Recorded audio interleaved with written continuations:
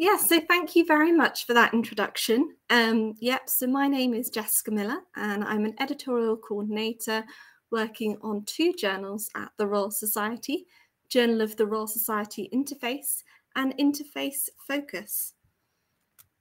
And first of all, um, I'm going to go over what I mean um, by open science. So um, there are a number of concepts that are included in open science activities and these include open access publication, open data, transparent peer review, depositing research on preprint servers, pre-registration and replication, and peer review recognition. And open science advocates hope that opening up science will improve the quality of research and its ability to be replicated. And it's hoped that innovations such as preprint servers are ways to speed up research. So not only does better research get to those who need it, but it gets there more rapidly. And now I'm going to go over um, some of the uh, models of open access um, and specifically tie these to um, self-funding. Um, so many funders of science, especially public funders, require work to be open access. And different models of open access exist. So these include diamond or platinum. Um, this is essentially free to authors and um, readers. Um, gold, um, which essentially um, usually involves paying a fee to the publisher um, to publish rather than the reader paying to access. However, there are other forms of ways of covering the costs, which I will go over later. Um, and then green, which is a free option where the author effectively self-archives. And each model um, has its pros and cons. So Diamond is optimal for the researcher and reader costs and has many practical advantages of open access. However, there may be questions about the financial sustainability of the model. And funding can come from a variety of sources, including society funds and donor funds. Um, gold is good for readers and for publishers, and also allows authors to widely share and reuse their work, um, whilst also retaining copyright. Um, it is worth bearing in mind that not all publishers are commercially minded, and profits generated by society publishers often supports other charitable activities, um, so, for example, profits um, generated by Royal Society Publishing go back into the wider work of the Royal Society, allowing its um, activities to carry on. And um, green open access is the second cheapest option for researchers. It's much more limited in its scope, and authors may have to um, give up their copyright. Um, and there are various advantages of open access, which I've been over, um, but these are reiterated um, on this slide. Um, so I've got advantages for authors, readers, um, and publishers. Um, so as I said, we've been over quite a few of these already, but it does help authors to meet funder mandates for open access um, also means readers can easily reuse published work, um, providing they cite the publication. And there are a number of ways that Royal Society Publishing um, supports open access. So firstly, um, we have two fully open access journals. Um, that's Royal Society Open Science and Open Biology. And across all the other journals, which are um, what we call hybrid journals, there are open access options. So effectively, um, the authors can decide if they want to um, publish open access. Um, three, four, four, thirdly, um, four of our um, journals, that's Proceedings A, Proceedings B, Biology Letters, and Journal of the Royal Society Interface, are transformative journals and they will move to a full fully open access model once 75% of articles are being published um, open access. Um, we also have a number of um, prepaid um, open access options for authors um, that have been agreed with institutional libraries. Um, so, for example, our read and publish deals are based on a model in which the library pays any charge fees directly rather than uh, requiring the author to pay. Um, so, for example, we have a read and publish agreement with the University of Cambridge, and this means that um, any open access fees for the University of Cambridge authors who publish with us are covered. Um, and this takes the financial pressure off the authors um, and means they don't have to, sort of, for example, pay out of their grants. And a large number of institutions around the world are involved in read and publish deals with the Society, and the number continues to grow. Um, an alternative approach are the open access membership schemes. And in this model, institutions pay an upfront fee to the Society, and in return, authors at those institutions receive a discount on their article processing charge fee. And we also support researchers who do not, who may be at institutions that, who do not have the resources to pay for open access. Um, so, for example, we support the Research4Life initiative, um, which grants institutions um, and authors um, in developing countries free open access um, for the fully open access journals um, and access uh, to content, paywalled content for the, the transformative uh, agreement journals. Um, and moving on to talk about open data. Um, so a key feature of open science is access to the increasing availability of research data. And this um, not only means the result uh, from your study that supports your paper's conclusions, but also other digital material and code or details of algorithms. Um, so, for example, a researcher working in paleontology may provide not only details of where the fossils they originated um, can be found, so for example, which museum but also photographs and CT scans, as well as any other measurements taken.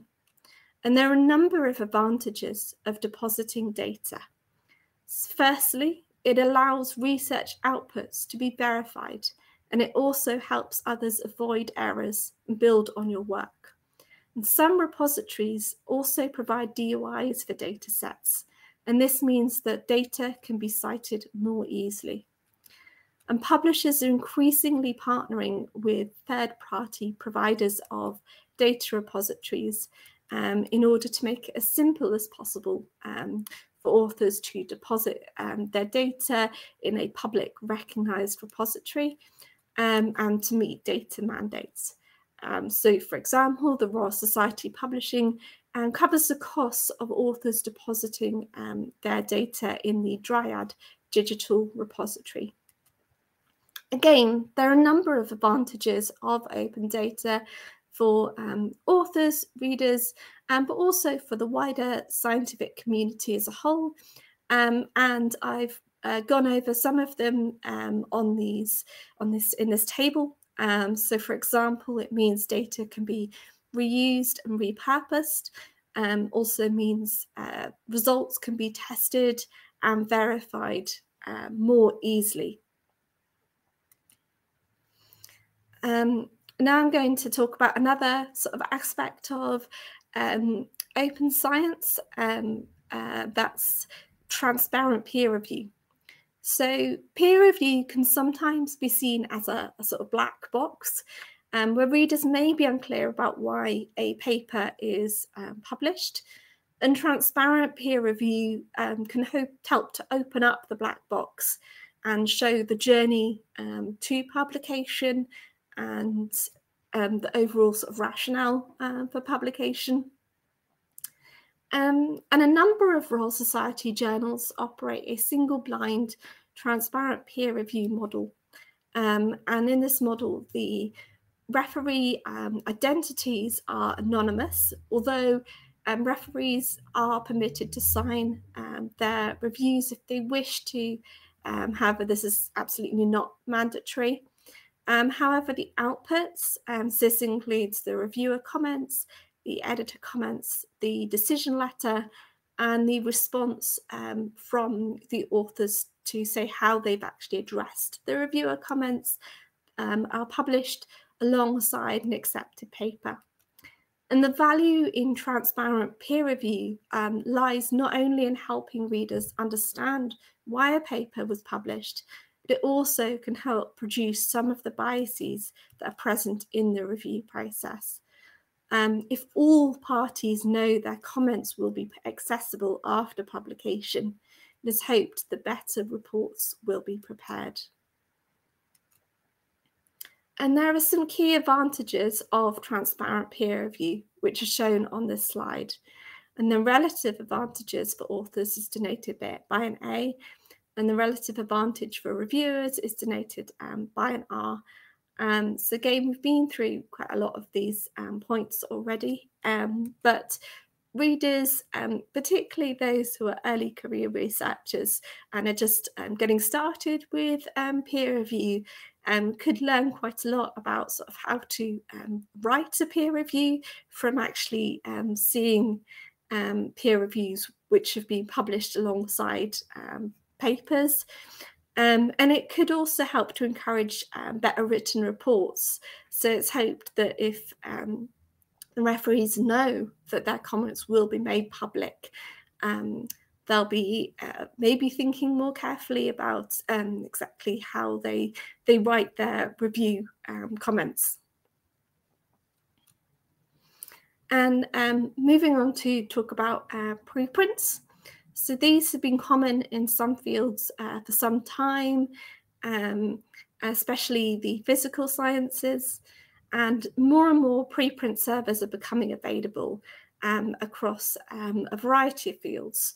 Um, so some of these, such as Research Square, cover all fields and some are specific to certain disciplines. So for example, bioRxiv is um, specific to biology. And preprints allow authors to share their work prior to formal peer review and many preprint servers allow readers to comment on posted content, which allows authors to gain feedback on their work before submitting it to a journal for formal review.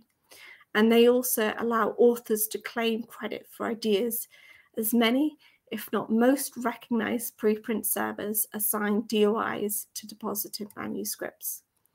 And it's important to note that journals, funders, researchers and research assessment bodies may see preprints in different terms from one, one another in regards to what constitutes a publication. And this can also vary depending on the academic field.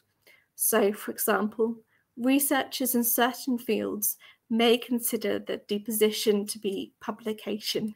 However, many research funders or assessment bodies do not consider this to be publication and require authors to also have published in a preprint peer-reviewed journal as well as or instead of a preprint server. And similarly, it is worth bearing in mind that while many journals do not consider preprints to be publications, others do see deposition in a preprint as a server as a form of publication, and this may prejudice the chances of the manuscript being published in the journal. Um, and as well as opening up the outputs of scientific research, many publishers and other organisations are trying to encourage a culture that not only permits but actively promotes reproducible science. And reproducibility can cover a range of aspects of open science, but I wanted to pick out three additional aspects. So the first of these is registered reports, which have been common in psychology and related fields for some years, but also becoming more widely spread across other fields. And briefly, they're an article type in which peer review is split into two phases. The first phase assesses the proposed study design to test, for instance, the statistical power of the proposed methods and analysis. And if the reviewers and editors are satisfied by the stage one registered report, it receives an in principle acceptance. The authors then register their protocols and study design in a suitable repository before conducting the research according to the peer-reviewed and pre-registered design. And after this, a second round of review takes place. However, the referees and editors do not assess the paper based on the study's outcome or results. Um, even if the authors get null results, this is not relevant to the stage two registered report. As long as the authors have conducted the study as agreed in stage one, the paper will be accepted for publication, regardless of the study's outcome. And the point is to test the study design by peer review rather than testing the results per se. And the next are replication studies, and a growing number of publishers are providing avenues for more replications of existing work, and this should be encouraged. Again, studies are assessed on the study design rather than the results. And pre-registration of replication studies should be encouraged. And finally, the assessment and publication of negative studies is another important part of reproducibility. And this includes studies that try to demonstrate a null effect and those that demonstrate a failure of study design or outcome. Both registered reports and replication studies can or should provide a way to publish negative studies, but some journals allow negative studies which haven't been registered. Very often experiments fail, and by publishing failed results, it helps others with their future experiments. I'm now going to go on to talk about how COVID has affected existing approaches to open science and how has it accelerated trends in some areas. So I'm just going to read out the quotation on the slide. Um, the sharing of the SARS-CoV-2 genome is seen as the poster child for open science, and the pandemic held up as a turning point for open science this comes from the Royal Society and demonstrates an increased awareness of an interest in open science has been driven by the pandemic. And several publishers answered a call from the Wellcome Trust to move to more widely share research outputs. And this was done in a number of ways. Firstly, they encouraged authors submitting COVID research to also post a copy of their work to a suitable preprint server. Secondly, they also allowed authors to transfer their peer review histories between journals if they were rejected. And this aimed to help reduce decision times as well as author and reviewer fatigue. And thirdly, the Royal Society and other publishers took down paywalls so that access was not interrupted when people were working differently and this was seen as a good move by libraries and users. And we also saw the um, use of preprint by preprint submissions uh, by authors really expand during the pandemic. Um, interestingly, the number of accept and reject final decisions seem to be similar between preprint submissions and regular submissions. And a number of journals, including Royal Society Open Science um, committed to rapid peer review of pre-registered studies examining COVID. And as discussed in an earlier slide, one of the major advantages of pre-registering a study this way is that it allows authors to design better studies. And this was particularly important in encouraging authors to conduct robust studies that could help address COVID and many journals modified their post acceptance processes to speed up um, publication of accepted research. And the scholarly communication in times of crisis, the response of the scholarly um, communication system to the COVID 19 pandemic report um, was prepared by the coalition of publishers who had responded to the Wellcome Trust call for more rapid sharing of research. And it recommended that efforts to promote open science need to be further intensified. And among the recommendations were calls for action in more um, encouraging preprinting, more effective data sharing, innovation in peer review processes, and improvements in access to and quality of scholarly publishing metadata. So, for example, access to citations, datasets, abstracts, and author identities. And I'm now um, going to spend the last part of this um, webinar just exploring some of the future directions for open science.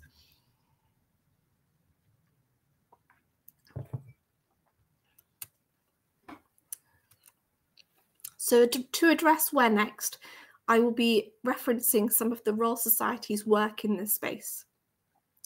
So in 2015, the Society hosted the Future of Scientific Scholarly Communication Conference. And this formed part of the celebrations to mark 350 years of publication for the Philosophical Transactions journals, which are the world's oldest continuously published journals and a range of stakeholders, including senior scientists, early career researchers, funders, institutions, representatives from academies and societies, publishers, the technology sector, science communicators, and industry all came together to explore the state of scholarly publishing. And underpinning the discussion was the concept of open science and its future prospects. And over the two days, topics covered all aspects of scholarly communication. However, three topics stood out. Firstly, the importance of fostering greater collaboration between all parties. Secondly, a recognition of the need to drive change in research culture. And finally, encouraging greater use of pre and post publication services. The recordings from the meeting and the subsequent written report are freely available to online and are worth reading.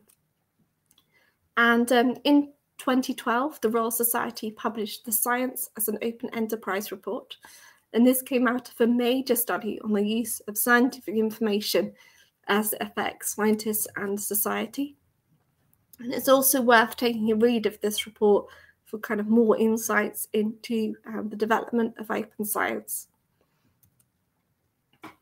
And um, finally, uh, there are a lot of themes that could be discussed when we consider where open science may be headed in the future.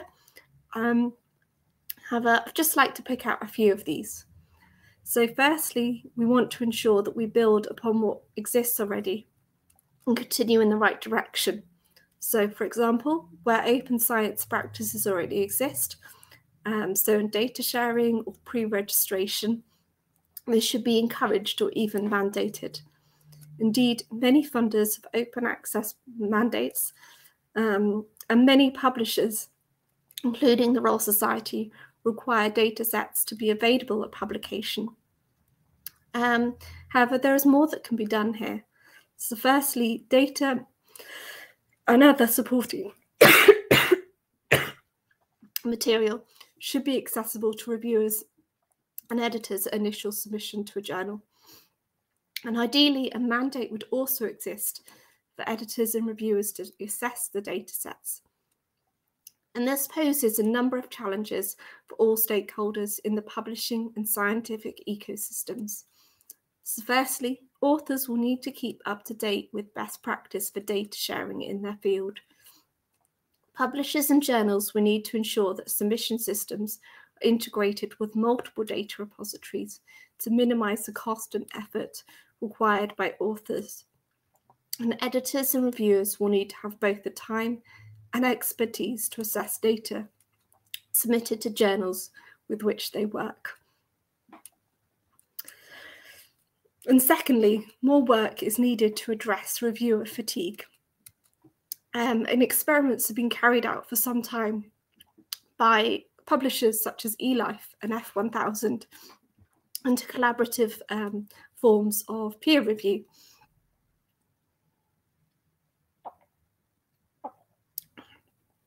And in an eLife's model, a consensus peer review is generated by the editors and reviewers working together, which is communicated to the authors to respond to. And other models of transparent peer review include those provided by the Peer Community In or PCI service, in which preprints are recommended by and reviewed by editors and reviewers in the open and could be left at that or submitted to one of a group of journals associated with PCI for consideration for publication. And some platforms have also developed that allow authors to submit for review and publication sections of papers, for example, just an introduction or just the methods, um, rather than the whole paper. And this may result in faster review and ultimately better review too. I've already touched on some of the funding models. We expect these to evolve and grow. And finally, a more collaborative research culture would hope, help open science. For this to happen, funders, institutions, and other actors in the scholarly research ecosystem need to ensure they reward science for the greater good, rather than rewarding science in a way that is centered on competition. Um, I hope this has been a helpful introduction for, to Open Science. If you'd like to um, have any more information, please do get in touch. And I'd like to open the webinar up to any questions you may have. Jessica, great job. Thank you so much um, for that really important information today. I while we wait for folks to come into the Q&A tab, I actually have a question myself. You talked a little bit about reviewer fatigue and what what that means for publishing. Um, you have any thoughts for us on how we can encourage more reviewers or how we can train up those those newer scientists to really help to increase those reviewer pools? Yeah, um, so at the Royal Society um, Publishing, we actually have a co-reviewing um, policy. Um, so this means um, that if a senior reviewer is reviewing a paper, um, they can invite a more junior reviewer to kind of review alongside them almost, and then they can designate them in the submission form as a co-reviewer. And this could help to sort of train the next generation um, and also um, hopefully um, reduce reviewer fatigue because a more senior researcher may have um, some help. Um, so that's one particular policy um, we have. I think also limiting sort of how often particular journals maybe invite reviewers and just sort of keeping an eye on that. Um, as I mentioned before, there's these sort of more collaborative um, forms of peer review um, and experiments and that going on, um, such as the one with eLife. So just those are just a few examples of how that reviewer fatigue can be addressed. But um, yes, it is it is a problem um, with the, and researchers have a huge amount of work on their plates. so and probably get a lot of review invitations. can get a lot of review invitations every day. Right. Um, and we we do have a follow-up question. Is there a minimum age or experience requirement to become a reviewer? Yeah, so we ask that um, reviewers have a PhD. Um, however, um, if you wanted to be a um, co-reviewer, um, so as I said, review a paper alongside a senior researcher, and that's not a requirement. And, I, am going to ask the reverse of that question. Is there any maximum age that um, you ask for reviewers to be within? You know, I, I think, you know, as we look at the the aging society in general and it touches so many segments from science to industry to engineering we're going to have this you know the the great exit the great retirement it, you know, do you have thoughts on how we can really engage those emeritus folks to continue to be involved in science for the reviewing side of things? Yeah, that's actually a very good question. Um, we don't have a sort of policy on such as a kind of max age. Um, um, I think it's something that's yeah a very good question that we would want to think about. Yeah, how we engage this kind of um, semi-retired or emeritus um, emeritus uh, professors who may be looking um, to continue in the field. Um, so I don't have any um, particular thoughts, but it's a, it is a very good question to sort of think about how we continue to engage them. So yes, I'm. But yeah, we don't have a maximum age, but I think yeah, no, it is important to think about. So you also noted in your presentation that referee comments are published. Is there a way or means for the author to reply to those comments from the referees? Um, so effectively, with the the published comments work um, that we'll publish the referee comments, but we'll also publish the response to the referees. So um, it's effectively all the history of a submission um, peer review. Uh, so effectively, you, the, the, author will submit the manuscript, um, the editors will assess it, um, get some, um, if it's good enough, they'll ask reviewers, reviewers will provide their comments, and then the authors, when they provide a revision, will um, provide a point-by-point response to reviewers. Um, and then it can often be sent out for review again. Um, and then the reviewers again will provide their comments, the authors will provide a response, the editors will make a decision, and all of those documents will be published alongside that paper. So yes, yeah, so the peer review history is, is includes the um, response from the authors as well um, that's been generated and provided throughout the sort of um, prior peer review process, if that makes sense. Yeah, I, am going to build on the question a little bit. Um, and this is probably something that's more in the new age way of reviewing. Um, what about referee comments and how the general public or the public at large may be able to comment on them. Say there's an expert that sees a, refer- a referee's comment and has expertise that may address it or assist in raising an issue about a paper. How, how is that handled um, in publishing? Oh, that's a very good question. Um, so I I don't work on a journal um, that actually does transparent peer review. Um, personally, I wonder if Andrew might have any thoughts on that. Um, so my colleague Andrew is on the webinar and um... Yes, hello everybody. Can somebody nod or wave if you can hear me? We can hear you perfectly, Andrew. Lloyd, references aside. Excellent. Yes, well, thank you, Jess, for that uh, introduction and indeed the presentation. Uh, and yes, I work on the, the Royal Society Open Science Journal that incorporates many of the features that Jess has, has addressed.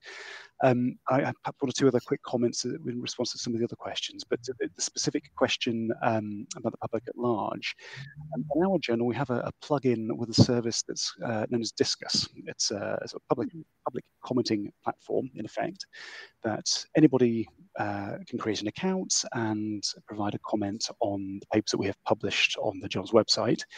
Um, and although the, the authors of the paper, I don't think get a notification, I might be mistaken with that, uh, the authors and the, the commenter, whoever they happen to be, can engage in a dialogue uh, regarding whatever that is the, the, the commenter has, has provided. Um, I think it's not unfair to say that most comments we receive are not necessarily motivated by any wish to engage in a scientific uh, debate. Uh, get a lot of spam, which we, we moderate and get rid of. Um, and even the comments that are more legitimate tend not to be uh, terribly incisive, I think it's probably say, fair to say. But those that, that are kind of more interesting for the authors, the, the authors do, or authors have been known to engage in kind of running backwards and forwards, and usually to a fairly uh, sort of polite standard. To that, there's also the, the more formal comment and reply process we have in uh, most of the Royal Society journals, I think. Uh, I think Interface possibly might be an exception to that rule, um, which would allow uh, a more formal peer-reviewed document to be submitted uh, up to about a thousand words or thereabouts um, on a, a, published article, which is a bit be peer-reviewed by uh, one of at least one of the original uh, referees of the published paper and an independent assessor and all being well, that will be published with a link uh, on the website to the, the original uh, paper, then which has been commented, and the authors again are invited through a sort of editorial process to submit a reply to that comment. So there's sort of a, a formal scientific peer-reviewed process, if you like, for a comment and reply, and there's that more informal Disqus approach as well, uh, in Royal Society of Science at least. That sounds complicated, but very engaging. It's, it's actually the Disqus process is, is relatively straightforward from a user's point of view. All you need is to uh, press uh, kind of a button and you can provide your comment and away you go. And then the conflict it is the kind of editorial team at our side doing the moderation. But so that's anybody can do that. Uh, there's no requirement to be a scientist to do that. And the comment and reply process, the more formal route, is perhaps more of the sort of the, the scientific letters the editor approach that I think has been raised in the in the chat, um, and that is a little more involved. But that's again that's a, a relatively more standard process I think for for the publishing kind of industry I think as a whole. Very interesting. I don't have anything else in the Q&A or chat. So uh, Jessica and Andrew, I'll turn over you just for final thoughts and comments. And um, yeah, thank you. I mean, I, if it's all right to just, just interject for a moment to think about a few things in terms of um, uh, ways that we try to engage peer reviewers and things that might improve the sort of peer reviewer fatigue problem. Um, I mean, just you know, uh, mentioned the um, co-reviewing and the like. There's other bits and pieces that might be worth mentioning as part of that. Like I think you mentioned also in the presentation, the transparent peer review process. That's not only does that provide uh, a means to uh, publicly display a peer review history, but also as a means that peer reviewers can claim credit for the work they've done, um, hopefully with a DOI as well. So there's a kind of citable output to perhaps uh, kind of encourage reviewers there and build building the credit. Um, we also publish uh, annual lists of thanks to reviewers, those who've opted in to be thanked publicly. There was a list um, that is uh, sort of signed by the editor-in-chief for the Royal Society journals. And that, again, that document has a DOI and indeed the ORCIDs of anybody who's signed it or has opted in to be have their name listed and it provided the ORCID. And so the kind of very public mechanism for us to be able to say thank you to our uh, reviewer uh, board, if you like It doesn't actually solve the direct problem of people getting too many review uh, invitations, which is I think I was going to kind of mention as passing that again with the co-review point Jess was making that we're trying to move at Royal Society, I think, to expand our review pool to more junior but qualified scientists, so kind of postdocs, early stage PIs and so on, principal investigators, are moving away from the more established individuals to try to kind of spread the burden a little more. Uh, and also trying to expand the geographic representation of the reviewer pool that uh, I'm sure if we were to do a quick study of the Royal Society journals, we'd find that the vast majority of our referees, like our authors, um, come from Europe or North America or Australasia, uh, missing out several billion people who could potentially, uh, or certainly hundreds of millions of people potentially, who might be able to review for. us. So we're trying to kind of engage what might be broadly described as the global south in that kind of process a little more effectively. Although that that is that is difficult uh, for a number of reasons in terms of having access to the networks and the appropriate kind of networks to hook into. But we're working on that. Um, and I think in terms of kind of the publisher training aspect, again, I think uh, both Diane and Jesse could have touched on this a little bit. Um, the Royal Society is doing a little bit more in that space with activities like this presentation today and more active kind of outreach activities at institutions and so on. And we have indeed put together um, a, a, website for early career researchers that tries to provide answers to common questions and provides kind of a degree of passive training, I suppose, um, and various videos and resources that are useful for people to get a sense of what peer review looks like and the like. And again, indeed, the transparent peer review that Jess mentioned and again she alluded to can be a useful resource there to help the training mechanism. But I think something we would like to do more of uh, in that space with uh, with resourcing uh, resources allow and so on.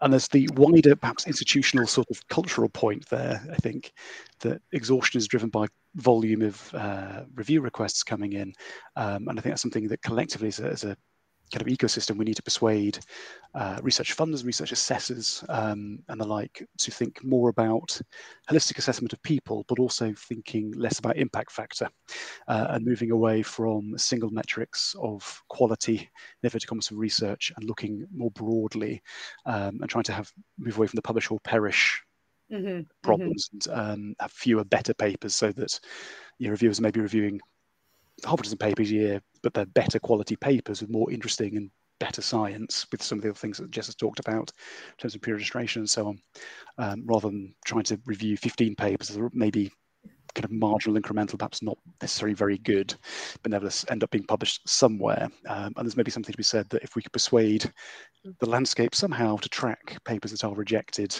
um, you know, maybe, maybe some three strikes and you're out rule or something, I mean, just to be, you know, controversial about it. How you'd do that, I don't know, but I think those are some of the things there. And again, it sort of think with the emeritus point you you uh, made, Diane, I think perhaps there's an argument to say that the more senior people move into a more professional reviewing role as they retire from yeah. the research role. I mean, the, an interesting problems there about maintaining sort of current. Um, currency, for want a better phrase, with uh, with the literature and, and research and so on, um, or whether they perhaps move into more of a training role for junior scientists, teach them how to review. Um, some thoughts there, anyway, which may or may not be useful.